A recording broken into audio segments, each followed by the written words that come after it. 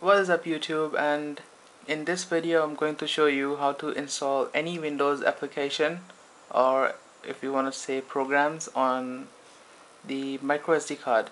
Since this tablet uses a micro SD card we're gonna be installing Photoshop on it. But as you can see if you select if you select the D drive which is the micro SD card it says unable to install in this chosen location. Uh, fortunately there is a workaround and we're gonna do just that. So I'm gonna click back minimize this. We're gonna first I'm gonna go to the C drive and create a new folder here. I'm going to rename it as SD mount. You can name it to whatever you want to your heart's content. I'm gonna close this. Now I'm gonna go to manage. Disk management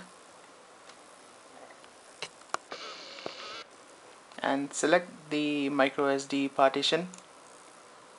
Uh, this is the removable disk. Right click it. Click on change drive letters and paths. You're gonna click add. Mount mount in the following empty NTFS folder. Click on browse. Go to your C drive and select the newly folder you have created.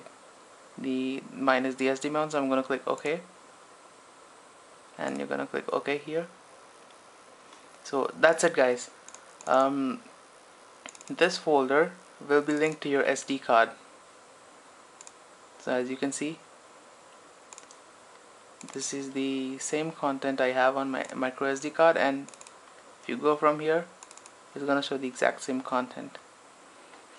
So now let's see if Photoshop accepts it. You're gonna click C drive and you're gonna click on SD mount and click OK.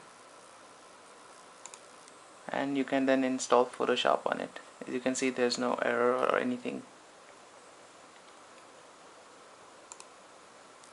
See?